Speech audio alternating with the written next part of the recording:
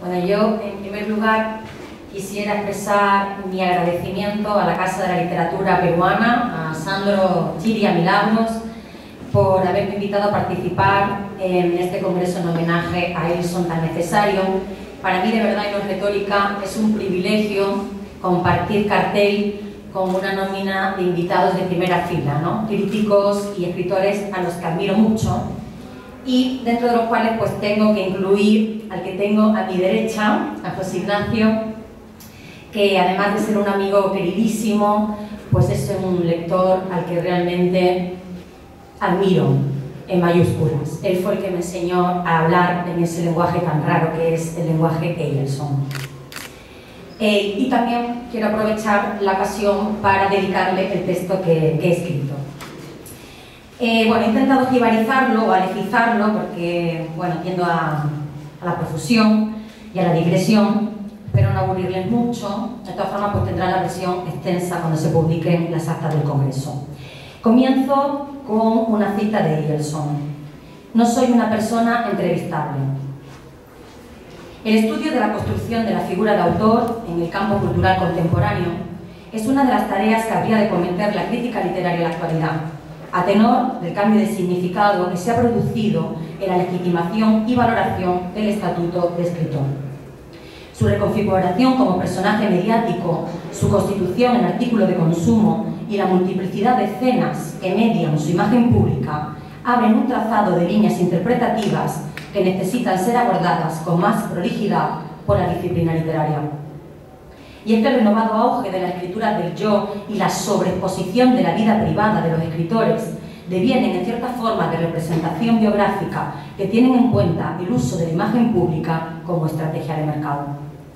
En este sentido, el género de la entrevista es uno de los instrumentos de promoción más eficaces para el autor, indisolublemente ligado al afianzamiento del capitalismo y a la legitimación del ámbito público como medio de construcción de un espacio biográfico. Así, la entrevista de escritor es una práctica prevalente en los medios de comunicación desde el siglo XIX, como decía Tarantí, que se ha extendido a las publicaciones académicas y se ha insertado con éxito en los circuitos de la industria editorial como consecuencia del interés que suscita tanto en el público lector como en la crítica cultural. Ilustra hasta cierto el autor que nos ocupa, Jorge Eduardo Eyelson, que se prodigó en el arte de conceder entrevistas a medios de comunicación, sobre todo, revistas especializadas y divulgativas, toda vez que publicó, el afamado libro El diálogo infinito, una conversación con Marta Canfield. Esta publicación es una prueba más de la obsesiva, y ahora cito a Leonor Arfuch, socióloga argentina, representación biográfica de todo tipo de relatos, notas, borradores, reseñas, entrevistas, papeles, que la lógica del mercado capitalista actual redundan no solo en la rentabilidad económica, sino en una lectura de la obra al socaire de la vida del artista, para acentuar el carácter autobiográfico o autorreferencial de los textos. Más aún en el caso de Eyerson, quien ya gozaba vida de una imagen de autor poco convencional, y poco conocida por la crítica literaria de un lado y otro del Atlántico. Sin embargo, Eilson dilucida pronto la relevancia de la autoconstrucción de un espacio biográfico donde las entrevistas adquieren un lugar preponderante porque intervienen como epitexto en las lecturas que se hacen de su obra. Y de esto es el hipercociente, ¿no? como trataré de demostrar. Tal y como cristalizan estas entrevistas, que aquí analizaré en función de las estrategias de autorrepresentación que despliega Eilson para construirse una figura de autor concreta. Con este horizonte el estudio que presento se, centra en la edición de Luis Rebaza Solaluz, Ceremonia Comentada, 1946-2005, texto sobre arte, estética y cultura, donde se citan en la biografía selecta 37 entrevistas, pero solo se reproducen 29. Esta compilación tiene la ventaja de la representatividad, ya que se trata de un mostrario amplio y diverso que incluye textos publicados por primera vez entre 1957 y el 2005 en medios de prensa y revistas académicas, en revistas académicas solo aparecen seis, donde han superado previamente parámetros valorativos de selección. Es más, existe una publicación anterior, editada por José Ignacio Padilla en 2002, Nudo, homenaje a J. Eilson, en la que se mencionan 28 entrevistas en la bibliografía y se recogen todas las incluidas en el mencionado volumen de Rebaza, excepto Hablar con Eilson, de Marta Canfield, editada por la revista gaditana, Revista Atlántica de Poesía, en 1996, que sí forma parte del corpus de entrevistas que he seleccionado para este trabajo, junto con su conversación El diálogo infinito, aparecida en México en 1995. 1. Literatura y vida. El biografema de la infancia. Si leemos con atención las entrevistas de Eggelson, podemos desentrañar ciertos mecanismos de autorrepresentación y operaciones ideológicas de legitimación en función de identificaciones, filiaciones, apropiaciones y biografemas que se repiten para modelar una imagen pública perfilada.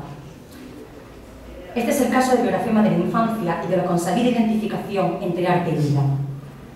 Cito, Puede decir que vivir es un arte y entonces no tendría nada, nada, raro decir que la creación, en cualquiera de sus formas, forma parte de la vida de todos los días. Fin de cita. Esta visión global, holística incluso podemos llamarla, que une arte y vida, creación y experiencia, se traduce en el temprano deseo, presente ya en las entrevistas de los años 70, de hacer visible su modo de vida, sus aficiones, su formación budista, ¿no? la que recala con profusión en el libro de Canfield, sus emociones y su sentimentalidad, y en aras de armar un campo de lectura para su poética, ¿no? lo que siempre ocurre con las poéticas fuertes que traen consigo en la mochila un campo de lectura propio. Cito a Nelson.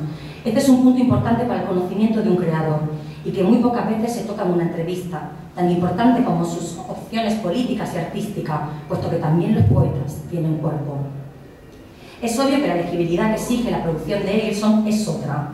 Su trabajo no se puede reducir a una única explicación epistemológica, a las orejeras de un solo eje, disciplinar, ya que toda su, obra forma parte de una concepción artística global ligada íntimamente a su vida.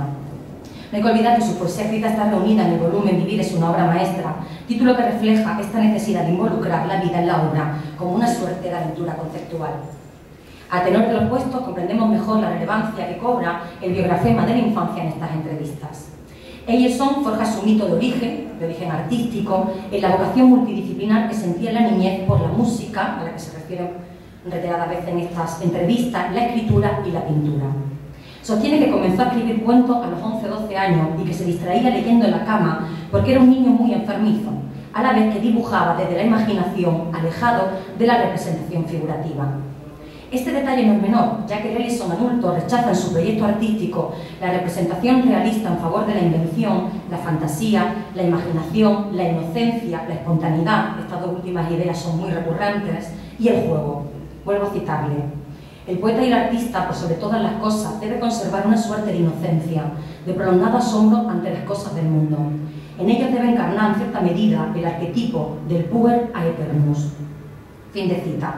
El arte, por tanto, comporta una lógica creativa separada de lo real, escapista o paralela. Dice que empezó a escribir a hurtadillas, ¿no? Y el artista es descrito como un niño adulto travieso. Afirma en una de las entrevistas que le hace Canfield. Desde niño, como todos los niños, he amado todo lo creado sin distinción alguna, y de este amor, en cierta manera panteísta, puesto que todo ello lo percibía como algo sagrado, este amor, a diferencia de lo que sucede en los demás niños cuando se vuelven adultos, ha perdurado en mí hasta hoy, probablemente porque siempre he vivido a contrapelo con la sociedad y sus instituciones. Entonces, Eilson construye su imagen de artista como enfant terrible a eternus, rebelde, también insiste en esta idea, insatisfecho, libre, procaz y ludópata. Cito, el azar y el elemento lúdico tienen que intervenir siempre. El verdadero artista tiene que ser, es un gran juguetón indudablemente. De un lado, el juego para Elson es un ejercicio colectivo que implica la interacción con el otro, aunque sea consigo mismo, en oposición a la práctica lúdica que requiere soledad. De hecho, una de las justificaciones de su abandono de la escritura verbal apunta que se trata de una actividad demasiado solitaria. Para él es necesario trabajar con los demás, hacer actividades artísticas de conjunto, jugar en el recreo con los demás chicos. Porque el hecho, lo vuelvo a citar, de haber trabajado desde muy niño con la palabra, lleva una suerte de hastío y sobre todo a un impas con respecto a la comunicación, que siempre se aleja de las intenciones del autor hasta resolverse en un absoluto silencio. Fin de cita. Así legitima Ayerson el desplazamiento de su obra entre lenguajes artísticos disímiles que integran una capacidad creativa global que se remonta, no deja lugar a dudas, a su infancia. Tengo muchísimos ejemplos, pero de tiempo no, no los he mencionado. De otro lado, el juego se practica también en la propia entrevista hasta el punto que podemos sostener que hasta los años 90, después ya se va temperando este juego, pone en marcha un mecanismo desmitificador del género que podría ser consecuencia no solo de la travesura, de ese niño que se salta las reglas, o de ese niño diestro en el arte de entrevistar, porque recordemos que cuenta con cinco entrevistas, ¿no? a Miquel, etcétera, sino del deseo de revelar, denunciar la ambigüedad o incompetencia del entrevistador y la manipulación de un género que se consuma crudo, como verdad o como testimonio, ¿no? sería como el género más parecido a la vida en directo de los escritores, ¿no? una suerte de Big o algo así. Padre suyo le reverencia de alguna de sus respuestas. No te puedo contar nada porque no terminaría nunca. Mi experiencia no puede servir a nadie y por eso es inútil que te cuente. Es inútil. En esta misma entrevista que le hace Eduardo Moll, le da un vuelco al formato y repite al entrevistador las preguntas que le ha hecho, que le ha hecho Eduardo, evidenciando la ambigüedad y la parcialidad de los enunciados. Incluso recrimina a Ribeiro en una entrevista de 1972 para la revista peruana Oiga. La pregunta no me parece pertinente. O por ejemplo dice, como ves, no sé nada. Y es que en algunos diálogos Eilson se presenta tenso, combativo, sarcástico, como en una entrevista de Luis Freire donde lo corrige, matiza, ironiza sobre algunas de estas cuestiones implacable con el entrevistador. Creo haber respondido sucintamente a estos puntos hace poco. Esto es, nos encontramos frente a un autor inentrevistable que aprovecha el género para autolegitimarse y de construir la imagen que tiene el otro entrevistador, paradigma de un determinado contexto de recepción de su vida y de su obra, del que hablaré en la tercera parte de, de esta charla. Así pone de manifiesto la cuestión de la repartición democrática del poder, del lugar de la enunciación, que dinamita para ampliar los ejes de lectura de su arte. Hay que tener en cuenta que los entrevistadores fungen siempre como lectores modelos que reproducen las problemáticas del campo, el peruano en este caso, en que se inserta una poética, contra la que se revuelve claramente Jorge Eduardo Ayelson. Dos, hacia la construcción de una figura de autor global. La entrevista es un género que propicia, que propicia una escena de legitimación del autor que interactúa a todas luces con otras esferas de la significación cultural y que propicia, como estamos viendo, representaciones específicas de la imagen y de la propia producción. La problemática fundamental que encara Eilson en el campo cultural peruano, y la mayoría de los entrevistadores escriben a este campo, es la del lenguaje y la representación de lo real de diferentes paradigmas artísticos que convergen en una misma obra. ¿Cómo zafarse de la etiqueta poética que le legitima en sus comienzos dentro del campo peruano y a la par autolegitimarse como artista global, autodidacta, ¿no? en esto también incide mucho, en una esfera cultural que sobrevalora la formación académica. Ello solo consigue fraguando una imagen de autor global. Por un lado, habría de apelar a la concepción romántica del poeta que procede por inspiración. Repite en varias ocasiones que escribe sin el menor esfuerzo, que no se viene a esa imagen artesanal de su poesía que proyecta siempre la crítica literaria.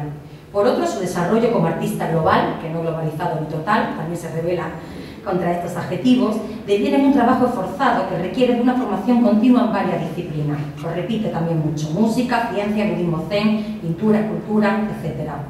Ciertamente, Eilson intenta sustraerse al encasillamiento del campo literario peruano en el rubro de poeta. Si en los años 50 decía, confieso que mi mayor, más dolorosa y auténtica ocupación es escribir, con el tiempo, como sabemos, su, reto será lograr una obra, y le cito, que sea a la vez artística y social, desde la confluencia de las artes y su función social. No obstante, y a pesar de la evaluación de su proyecto artístico personal, los entrevistadores sempiternamente, ¿no? ya se llega a convertir como una suerte de leitmotiv, le interrogan sobre su faceta poética, si continúa escribiendo poesía, practicando lenguaje verbal, o si piensa volver a hacerlo en algún momento. Por consecuencia, en las entrevistas de la década de los 70 demuestra su preocupación por ser leído y enunciado desde ese lugar global. ¿no? O sea, mm, continuamente también eh, prefiere hablar de su poética global, ¿no? lo enuncia así, reaccionando en contra de su imagen pública peruana ligada solo a la poesía. De ahí que se autolegitime repitiendo hasta el hartazgo que las palabras no le bastan para expresarse y que su poesía se cristaliza en el uso de otros materiales y lenguajes que se desplazan continuamente. Una vez que ese puer aeternus Eilson desarmó el lenguaje de ese juguete atroz que es la poesía, ya no quedó nada. O mejor, solo jugar con otras formas artísticas. Pero Eilson es consciente de que el campo cultural peruano no entiende su postura transversal, ¿no? en la doble significación del término. Por eso, cuando vuelve a Lima en 1988, decide zanjar la cuestión poética del siguiente modo. No estoy diciendo que ya no escribiré más nunca, Nunca lo he dicho, simplemente se trata de una parábola. No sabemos si esta enunciación responde al agotamiento o a saberse un artista incomprendido, atrapado en un corsé interpretativo, que ha pasado por varias fases en su producción, a la manera de Picasso, con el que expresamente se compara en la entrevista citada más arriba, autoproclamándose autor desplazado, en muchos sentidos, migrante, en oposición a Ple Mondrian, que tiene una obra reconocible, una marca artística singular, pero siempre repetida, y él se dice como, se autodesigna como un autor de cambio. Podríamos afirmar entonces que nuestro autor percibe el espacio cultural, al igual que la mayoría de artistas en la contemporaneidad, como un campo de fuerzas. Por eso establece un encuadre idóneo de lectura, que él mismo va trazando en estas entrevistas, para su obra sublevándose contra la univocidad, contra la mala lectura del imaginario peruano. Cito, Solo en Lima naturalmente no me hicieron caso, considerando el asunto un capricho de poeta.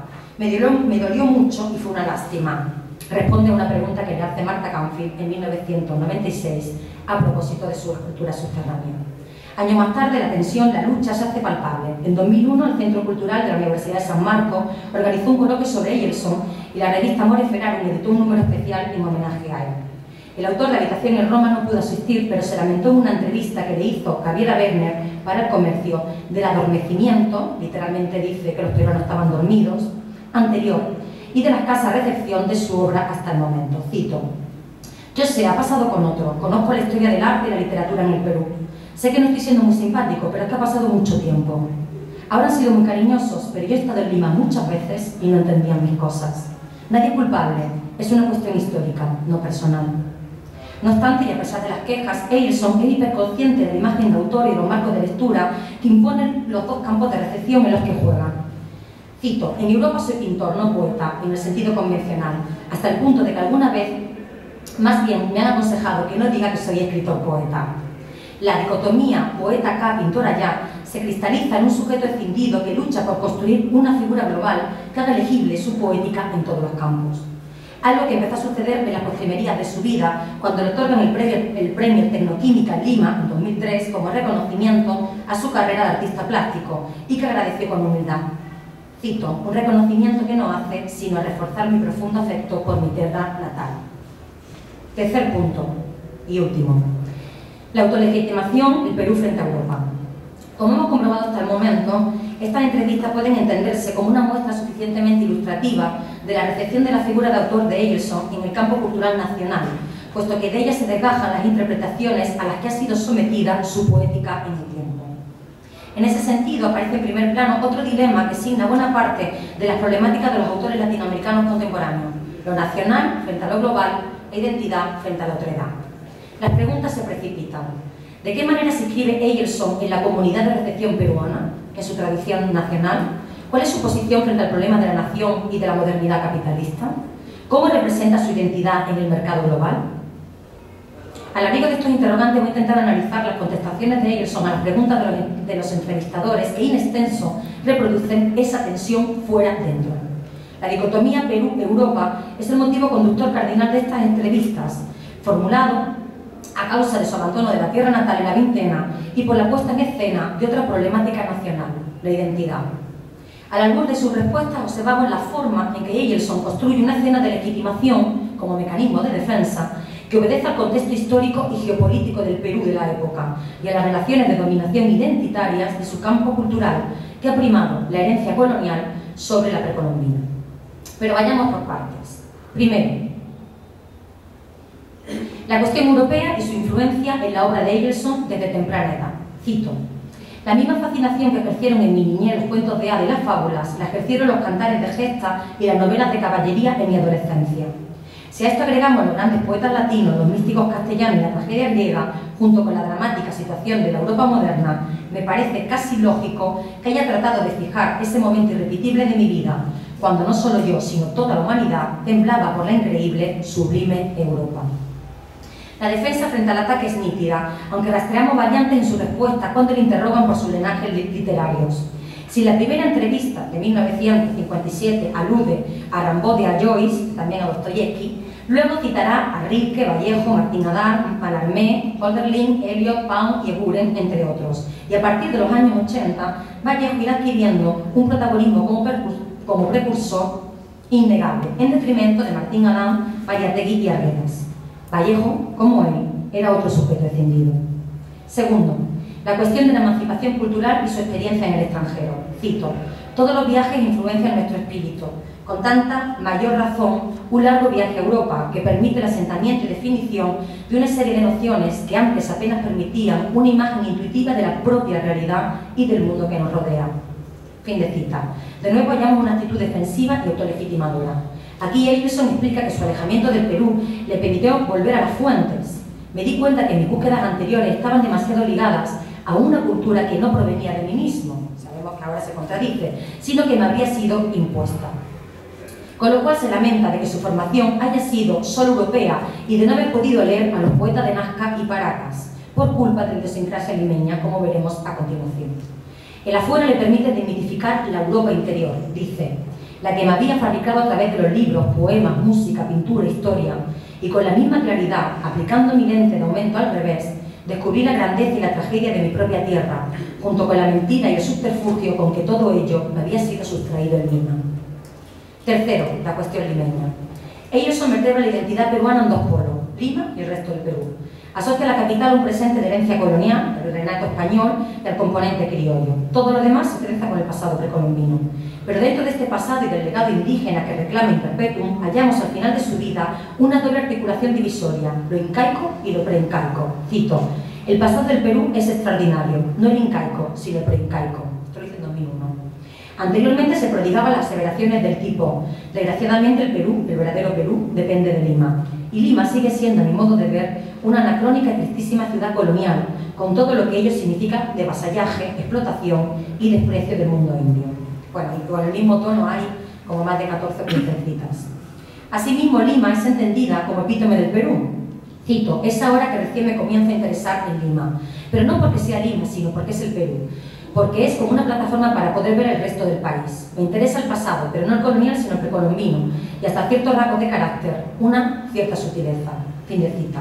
Aunque precisa que salió del país por el sofocamiento, la asfixia de vivir en un medio reticente a los cambios, a las nuevas ideas, no podría haber hecho lo poco que, hace, y eso lo, deja como muy palpable, de haberse quedado en Lima.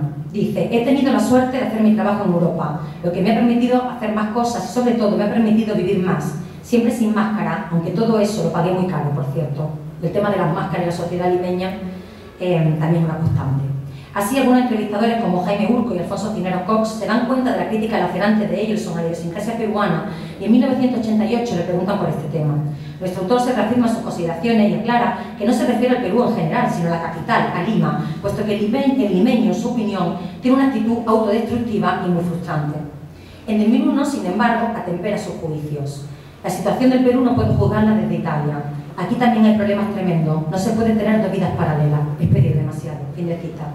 De todos los citados se desprende la posición aguerrida de ellos ante un campo cultural en continua batalla, terreno siempre en disputa, para legitimarse hacerse elegible como autor peruano, no en un sentido limeño, lugar de enunciación de la clase dominante para él, o de la identidad clerótica colonial. Cito, yo siempre he intentado reflejar al país en mi obra. No todo el mundo lo ve así. Siempre una tendencia a verlo como cosa europea y es todo lo contrario. Creo que uno se ve mejor a sí mismo y a su país estando lejos. El rigor de verdad en su poesía, disciplina desde la que se lee a Ellison en Lima, la temática, en la Lima de la época, la temática peruana apenas está pergeñada, mientras que su obra plástica y performance es evidente la huella prehispánica. Por eso la reafirmación de la identidad peruana es constante en estas entrevistas, toda vez que notamos el interés en calificar como universal su arte. A fin de cuentas, Ellison tiende puentes transatlánticos que le hacen sentirse un peruano que ve el mundo con ojos europeos y viceversa. Quinto y último, la cuestión precolombina. La manera en que Eyerson proyecta y vende la cultura peruana en el panorama mercado global tiene que ver con la adopción de una posición política cultural que pasa por vindicar el patrimonio autóctono precolombino rechazando lo colonial. Con lo cual subvierte el concebido binomio civilización-barbarie, de indígena, a de articular una tasación del valor cultural del campo latinoamericano sobre la base de su pasado indígena. Y es que, como defiende Leonor Arfuch, la identidad personal se dibuja casi obligadamente en el horizonte de construcción de la identidad nacional, sus conflictos, cambios de valores, transformaciones, y siempre acusa fuertemente la marca de conflictividad. Y el conflicto en el Perú tiene que ver con el modo en que se han configurado las posiciones de prestigio en el campo intelectual, que habían desentrañado el legado, perdón, que habían eh, desdeñado el legado prehispánico, calificado como primitivo por el propio Eielson, ¿no? criticando a, a, este campo intelectual con una posición de dominación en oposición al desarrollo colonial. Su peculiaridad y su valor artístico. Cito, me duele recordar siempre que poseemos uno de los patrimonios artísticos más extraordinarios del mundo. Si pensamos solamente en la textilería y la pintura precolombina y que este tesoro no ha sido explotado todavía, ni siquiera por las últimas generaciones, fin de cita. La génesis de su quipus se cifra, por tanto, en su trabajo plástico con telas y tejidos, en la admiración y en la admiración por las culturas americanas. A partir de ahí se autoasigna de nuevo un papel de defensor del arte precolombino forjado de su posición de, intelectual de afuera, marginal y global, donde arma un espacio de resistencia frente a los de dentro, que tiene la prerrogativa de organizar el campo ideológico peruano en virtud del rescate del autóctono. Además lo hace en relación a Europa, lo contrapone explícitamente al hombre italiano realista en grado supino y a su valor, la novedad es requisito indispensable en toda sociedad de consumo, en este campo cultural, ya que estos tesoros naturales y arqueológicos son casi desconocidos en el viejo continente. Es uno de sus argumentos. Pero, bueno, esta es una de las preguntas que me hago, no tengo respuesta, me gustaría dialogarlas con, con ustedes cuando José Ignacio lea su charla, si le dejo. Eh, ya, ya se me quedan tres líneas. Pero Eilson no repara, o es lo que a mí me parece, em, a la vista de, de los textos que he manejado para este trabajo, en cómo consume este campo cultural transnacional la producción simbólica de lo subalterno, que tiende a ser reducido, neutralizado e incluso homogeneizado a una condición exótica o residual, desde la que hace ya casi medio siglo viene leyendo al otro latinoamericano la dosa dominante occidental. O sea, en un punto él pareciera como perpetuar eso, ¿no? pero bueno, podemos discutirlo. En conclusión, estas entrevistas de Eggerson funcionan como relatos personales en los que construye cito a Arfuch, un lugar de reflexión, de autoafirmación, de un ser, de un hacer, de un saber, de objetivación de la propia existencia. En esta ocasión se impone una figura de autor connotada por los valores del compromiso ético y estético, visible también en su obra verbal y plástica, que perfila, que perfila un mismo marco de lectura global de su vida y su poética. La estrategia de autorrepresentación que desarrolla Eilson en las entrevistas, entonces, están orientadas al modo de recepción de su obra en el Perú, a partir de las cuales el escritor no solo estetiza su vida y justifica su obra, sino que se autolegitima. Cito, la entrevista no es una mera representación de lo ocurrido, sino una forma que la hace inteligible, una construcción que postula relaciones que quizá no existan en otro lugar, casualidades, causalidades, interpretaciones. Fin de cita de Leonardo Fuchs.